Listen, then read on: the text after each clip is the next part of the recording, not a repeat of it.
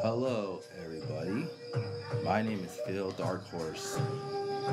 This is my first live chat on TikTok.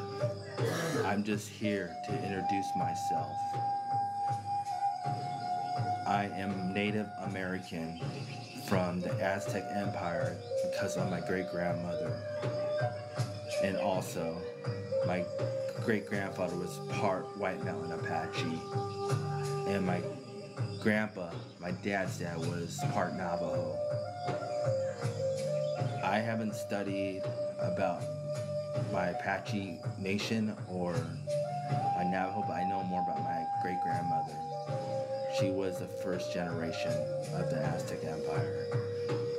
I've learned about it from studying through my family, my uncle.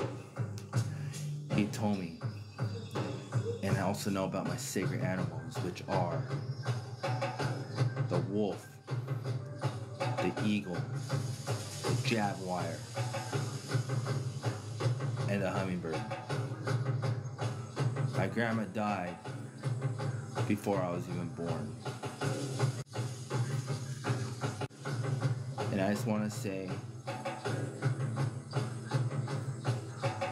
hi, I'm introducing myself. This is a short video because I'm ready to get to go to sleep. But I will have more information or I'll talk more tomorrow and let you know about my culture. You guys have a good night. We'll all talk tomorrow.